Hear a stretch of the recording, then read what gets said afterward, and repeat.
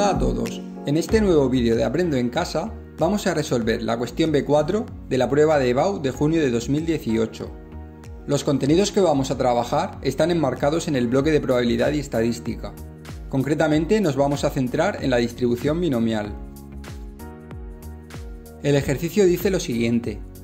La probabilidad de que un autobús llegue con retraso a una parada es 0,2. Si pasa cuatro veces a lo largo del día por la parada, calcular la probabilidad de que A. No llegue con retraso ninguna de las veces. Por tanto, este apartado nos pide la probabilidad de que el número de retrasos sea 0. B. Llegue con retraso al menos una vez. Dicho de otra forma, el apartado nos pide la probabilidad de que el número de retrasos del autobús no sea 0, es decir, la situación contraria a la preguntada en el apartado A. C. Al menos llegue tres veces con retraso, es decir, que tenga 3 o 4 retrasos. D. Llegue con retraso exactamente dos veces consecutivas. Esta situación podría darse si llega tarde las dos primeras veces, pero también si llega tarde solo en las paradas segunda y tercera o si llega tarde en las paradas últimas. Tras esta lectura, conviene analizar la variable que cuenta el número de retrasos diarios del autobús. La llamaremos X, Comprobemos que cumple las tres condiciones de la distribución binomial que, según nuestro marco teórico, son las siguientes. 1. El experimento aleatorio que plantea el ejercicio consiste en la repetición de un experimento base de forma independiente, y efectivamente el autobús pasa cuatro veces al día siendo cada paso independiente del resto, n es igual a 4. 2.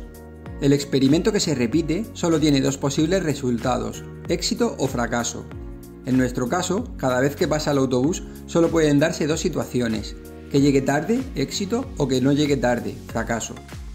Y 3. En cada paso del autobús se tiene la misma probabilidad de retraso, P es igual a 0,2, y por tanto la misma probabilidad de que sea puntual, que llamaremos Q, y es igual a 1 menos 0,2 igual a 0,8. Por tanto, la distribución de la variable x es efectivamente binomial, de parámetros n igual a 4 y p igual a 0,2. Su función de probabilidad es la siguiente. Sustituyendo los valores de n y p, la función que nos permite calcular la probabilidad de que el autobús llegue tarde a la parada un número k de veces queda así. En esta ecuación, cabe destacar que el número de retrasos que puede tener el autobús, k, puede tomar los valores 0, 1, 2, 3 o 4. Y también que n sobre k es un número combinatorio que se calcula según nos indica de nuevo nuestro marco teórico.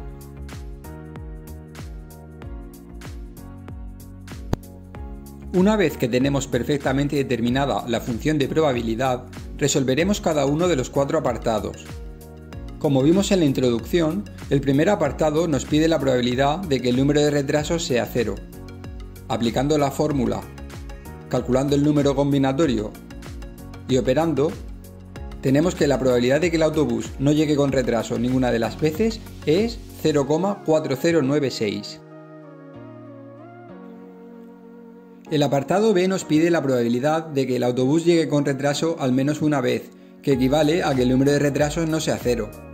Aplicamos la propiedad del suceso complementario y tenemos que es igual a 1 menos la probabilidad de que el número de retrasos sea 0, que ha sido calculada en el apartado anterior. Sustituyendo y operando, obtenemos que la probabilidad pedida es 0,5904. Pasamos al apartado C, que nos pide la probabilidad de que el autobús tenga 3 o 4 retrasos.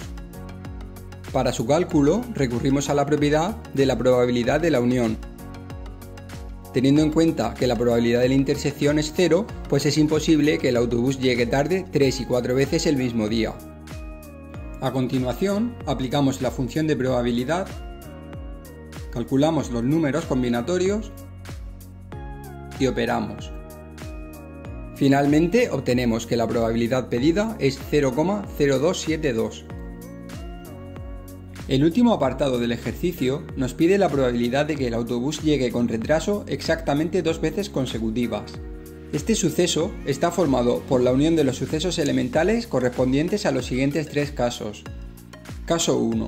Que el autobús llegue con retraso en las dos primeras paradas, pasando a su hora en las dos últimas. Caso 2. Que llegue con retraso en las paradas segunda y tercera. Y caso 3. Que los retrasos se den en las dos últimas paradas. En consecuencia, para calcular la probabilidad pedida, tenemos que calcular la probabilidad de cada uno de estos tres casos y sumarlos, pues son incompatibles entre ellos 2 a 2. La probabilidad del primero es igual al producto de las probabilidades de los retrasos y de los pasos puntuales que determinan este primer caso. La multiplicación se debe a que los pasos del autobús por la parada a lo largo del día son independientes entre sí. Sustituimos las probabilidades de retraso y de paso puntual por 0,2 y por 0,8 respectivamente. Operamos y tenemos que la probabilidad del primer caso es 0,0256. Procediendo análogamente, obtenemos que la probabilidad es la misma en los otros dos casos. Finalmente, sumando estos resultados, obtenemos que la probabilidad de que el autobús llegue con retraso exactamente dos veces consecutivas es 0,0768. Terminamos así este largo vídeo en el que, además de resolver este ejercicio de EBAU, hemos repasado la distribución binomial. Nos vemos pronto en un nuevo vídeo de Aprendo en Casa.